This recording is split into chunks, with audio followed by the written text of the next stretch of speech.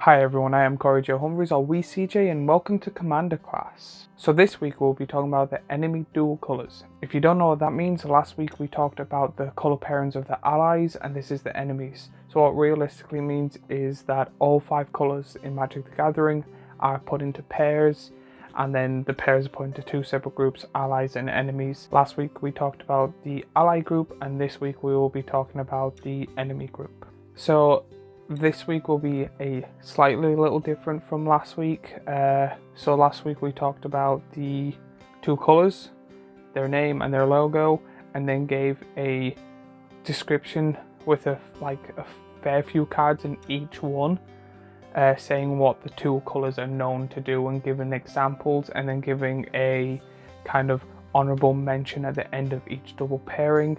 Uh, that took way too long for me to edit and I barely got that episode out.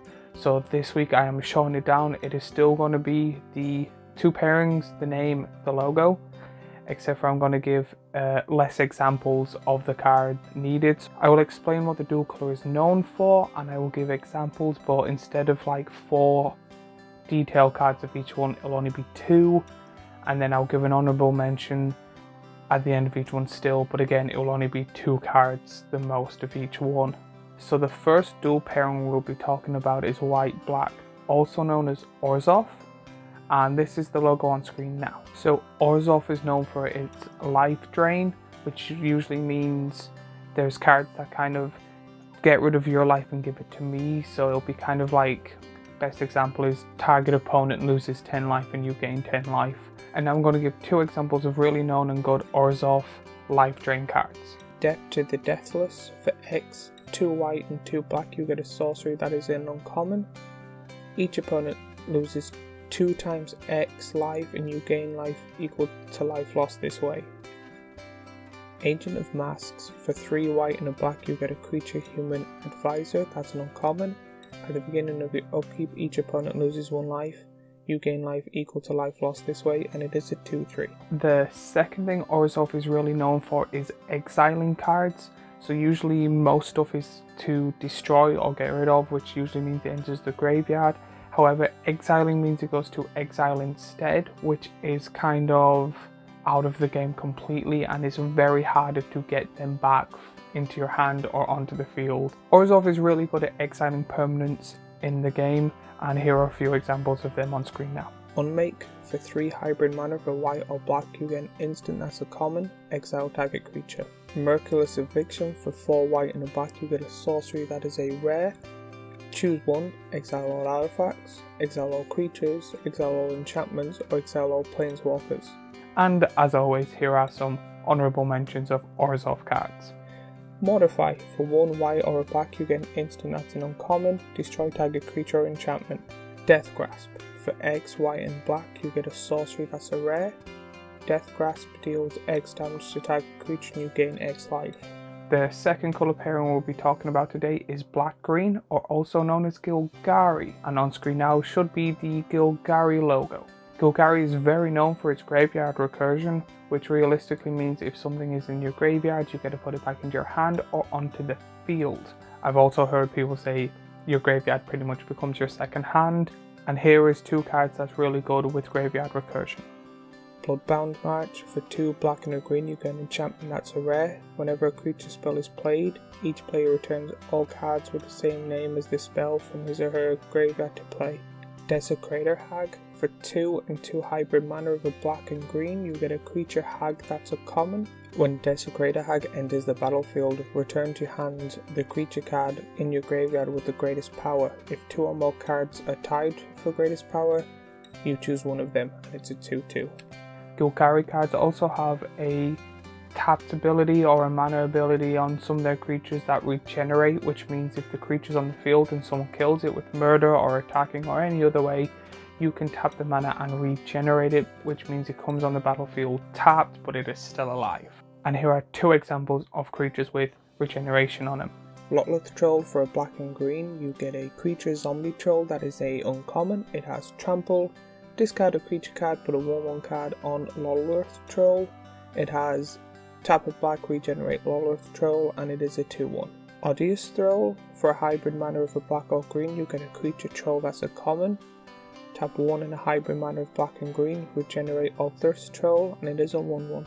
And the last thing Golgari is known for is its permanent destruction, which usually means cards that stay on the field, so realistically, not instants and sorceries, because they only stay on the field till their job is done and then they're gone. Cards that stay on the field, lands, artifacts, creatures, and enchantments mainly, they're really easy to destroy in Golgari because Golgari is really known for its permanent destruction. Here are a few examples of Golgari cards that destroy permanents.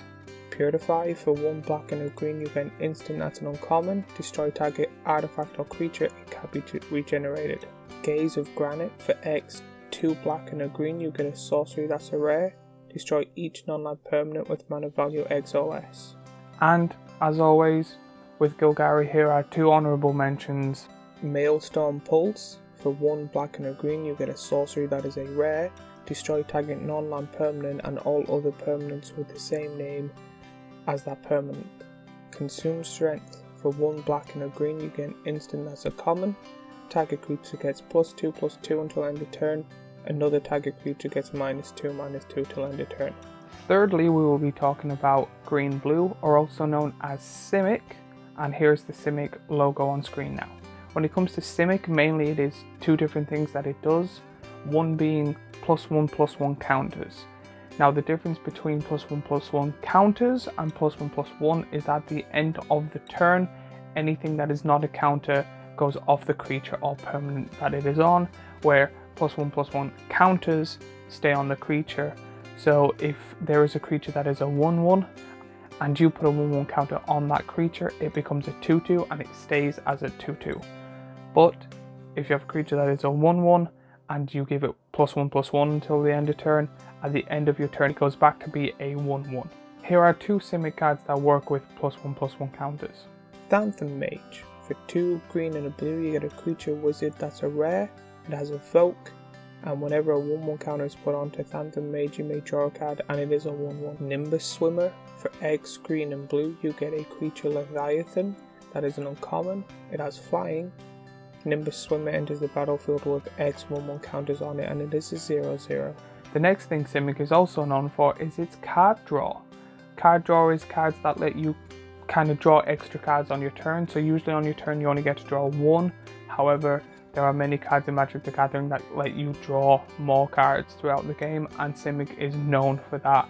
Drawing is counted as one of the most strongest things you can do in Magic the Gathering and Simic is known to be one of the best colour pairings in Magic the Gathering so it lets you draw a lot of cards. And here are two Simic card drawing cards on screen now. Cold Eyed Selkie for 1 and 2 hybrid mana of a green or blue, you get a creature Merfolk Rogue that is a rare. It has Island Walk. Whenever Cold Eyed Selkie deals combat damage to a player, you may draw that many cards. It is a 1 1. Biomantic Mastery for 4 and 3 hybrid mana of a green or blue, you get a sorcery that's a rare. Draw a card for each creature target player controls, then draw a card for each other creature target player controls. Finally, are the honourable mentions of Simic. Yavimaya Embrace for 5 green and 2 blue, you get an enchantment aura that's an uncommon, enchant creature. You control enchanted creature, enchanted creature gets plus 2 plus 2 and trample. Winged Coatl for 1 green and a blue, you get a creature snake that's a common. It has flash, flying, with death touch, and it is a 1 1. Next, we'll be talking about the colour pairing blue red, or also known as Izzet. Here is the Izzet logo on screen now. So when it comes to Izzet, it was kind of the hardest for me to find research and talk about it because Izzet's only really good at kind of one thing. However, a lot of Izzet decks are made of separating blue and red. So the only Izzet thing is kind of copying your instants and sorceries and then doing other stuff with those abilities. So there's a thing called Storm, where if you play a card that has the word Storm on it, you get a copy for each time you've cast an instant sorcery on that same turn. There's also creature cards that get more powerful for each time you have a storm count or every time you've cast or copied an instant or sorcery, it gets plus how many instant sorceries you play that turn till end of turn. So a lot of my research on Izzet, is it just saying Izzet's really known and very well at copying instances and sorceries and then doing multiple other things with your storm count or how many times you play instant sorceries. The rest is just cards separating it. So it's usually like blue cards let you draw more, red cards do damage. They're separated out. There's not really many Izzet cards that do multiple different things. So it was very hard for me to do a lot of research on Izzet alone, but here are some examples of really good Izzet cards. Storm King's Thunder. For 3 red and X, you get instant that's a mythic. Whenever you cast your next instant sorcery spell this turn, copy that spell X times, may choose new target for the copy. Colvin casting. For 5 blue and a red, you get enchantment that's a rare. Whenever you play a multicolored instant or sorcery, you may pay 1. If you do, copy that spell, you may choose new target for the copy. And then also just because I've done it with every single one, here is two honourable mentions of Skitz For 1 blue and a red, you get an instant that's an uncommon. Target creature gets plus 4 plus 0 until end of turn. Another target creature gets minus 4 minus 0 until end of turn. Mage Fire Wings for blue and red you get an enchantment or that's a common. Enchant creature. Enchant creature gets plus 2 plus 0 and has flying. And then lastly we will be talking about the colour pairing red-white or also known as Boros. And here is the logo of Boros on screen now. When it comes to Boros, it is known to kind of be the weakest dual color pairing in Magic the Gathering. Uh, it kind of only really does it does many things because of the separation of white and red cards. However, when it comes to Boros cards singularly on their own, they kind of have a similar theme of doing high damage during combat, multiple combats, powering up your creatures during combat. They are very combat heavy. So Boros is known to, or uh, during your combat or just before your combat, power up your creatures. You can have many creatures or one very powerful one and then attack with double strike, trample and all of that. And here are two honorable mentions of really known Boros cards. Agrus Kos Wojek Veteran for 3 red and a white. You get a legendary creature, Human Soldier, that is a rare. Whenever Agrus Kos Wojek Veteran attacks, Attacking red creature gets plus 2 plus 0 and attacking white creature gets plus 0 plus 2 until end of turn and it is a 3-3. Akroan Hoplite. For a red and white you get a creature human soldier that is an uncommon. Whenever Akroan Hoplite attacks it gets plus X plus 0 until end of turn where X is the number of attacking creatures you control and it is a 1-2. And as always, here are two honourable mentions of Boros cards. Cerodon Yearling for a red or white, you get a creature beast that's a common. It has vigilance and haste and is a 2 2. Lightning Helix for a red and white, you get an instant that's an uncommon. Lightning Helix deals 3 damage to any target and you gain 3 life. Now that we have gone through the enemy dual pairings, we finally now know all the mono colors and now all the dual colors.